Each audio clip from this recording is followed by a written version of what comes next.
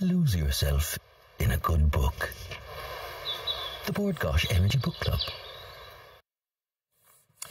She may have become a writer in latter years, but Kathleen Watkins shows no sign of slowing down. She recently won her first ever Bord Gáis Book Award for Children's Book of the Year with her book Pigín of Howth. But that's not all. Oh, no, it's not all indeed. Kathleen is taking that one step further and she has now been nominated for Book of the Year. So make no mistake, there's no stopping her now. Kathleen, you're very welcome back to Ireland AM. It's lovely to be here with you again. And indeed, there was nobody more surprised than myself to be nominated.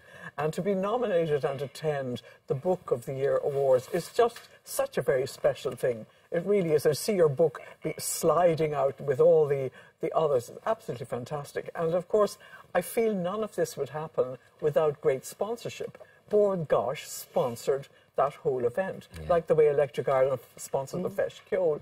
What would we do without sponsorship? And I'd love to think that more Irish companies would take a page out of the book and sponsor um, all these very well special... said, Kathleen. Yeah. And that was the 11th year they've done it, so well done. Hats off to Bord Gáis. Indeed. Absolutely, yes. Kathleen, doing my bit of research, I was looking for other authors who had started writing um, should we say, after a certain age, right? Yeah. They are few and far between. Really? I, I find that Bram Stoker started writing at 50, well, Dracula came out at 50. Uh, Laura Ingalls Wilder, Little House on the Prairie, she was 65, I believe. And then Frank McCourt was 66. So you've beaten all of them for your, I have your no debut. idea. I, I, and it's all, it's all an accident. but I do think of people to whom it would be of major importance to attend the book awards, to be nominated. People have been writing for years and years with no recognition. I realise how lucky I am. It's just a lucky strike. There That's, you are. You decide, oh, sure, I'll give this a go, and all of a sudden you're winning plaudits and awards all yes. around yourself. Yes. Kathleen, is, it, is, it, is there something in the combination of having perhaps more time, your own kids grown and have left the,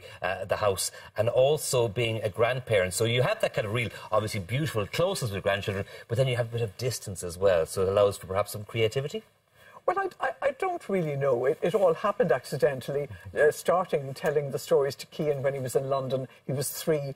And then he never ever said, um, tell me the story again about the pig going down the pier. He always just said, tell me another pig's story. So I was stuck. I was going on and on and on. It and almost happened against your will, Kathleen, if I'm honest. Because you tell, yeah, there were the stories that you told. That book is an accident. And you, and you were like, no, no, no, no, no, I'm not going to put them down in print. And people had to beg you to do it, essentially. Well, the thing is that there are dozens more. There are only a few in there, but there are dozens more. So maybe, maybe another book. Before we go on with the interview, everyone at home is wondering, how was your other half? How, how very is nice gay? Because people are, and he mentioned that he, well, he on lyric he may he have made cancer. his announcement, and you know we have been overwhelmed with messages and I mean the love pouring into our house just nationwide. Yes, wonderful. Yeah. Thank you to everybody. People have been sending us notes and cards and mass cards and all kinds of things. People are so incredibly kind that somebody would go out, go into a shop and select a card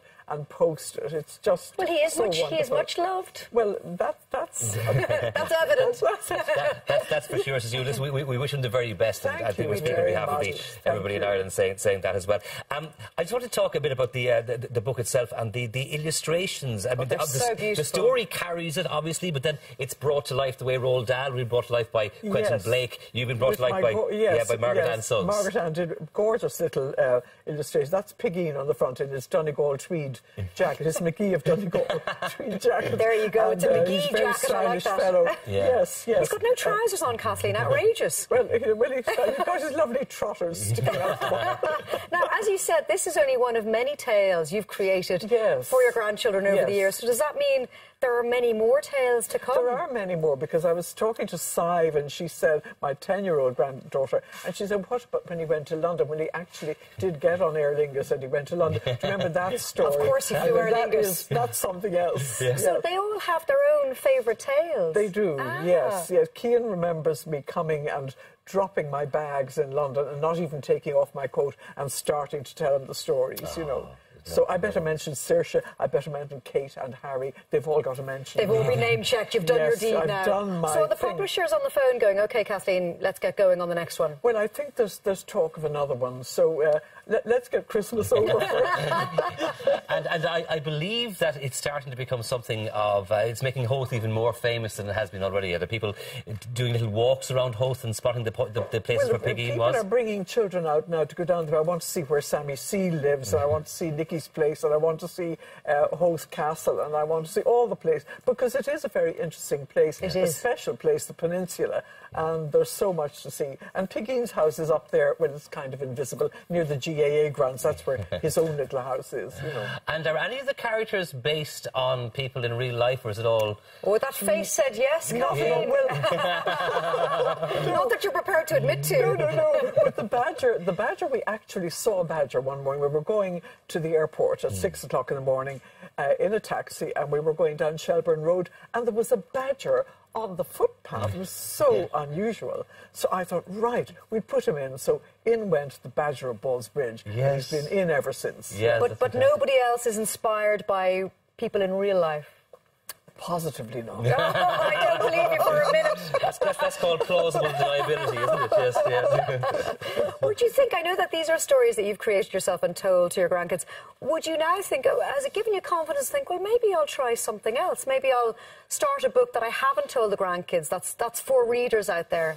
I know. Not that's, yet. That's that's never even crossed my mind. Really? No. There's most people out there would be like. This, this was all as a result. I mean, when this happened at the launch of the Gay's Meaning of Life book, mm. and uh, I was chatting to this lady. I didn't know who she was with my friend Mary McNicholas, and Mary said Kathy should tell her stories, and I thought, well, not, not at all, not at all. And Nikki from Gill, I didn't know she was from Gill Publishers. She said, "What's it about?" And I said, "But it's actually a pig. He's a very nice mannered pig." And she said, "We'll do it." And I think I said, "You'll do what?" And I think she said we'd publish it. So yeah. it's happened. Yeah. It's, it's amazing. It's there's, amazing. there's people out there knocking on publishers' doors for I years. Know, I know, I know, yes. But clearly it's not just about who you're connected to and your connections, it's about the content. And I think it it's about. its own yeah, but I think it's about the trotters. fact that they were stories you came up with for your own grandchildren. So yes. they were stories that came from love and they adored. Yes, and I had to put in the, the sporty bit because they're huge into sport. Yes. You know, they go to see the Dubs and they dress up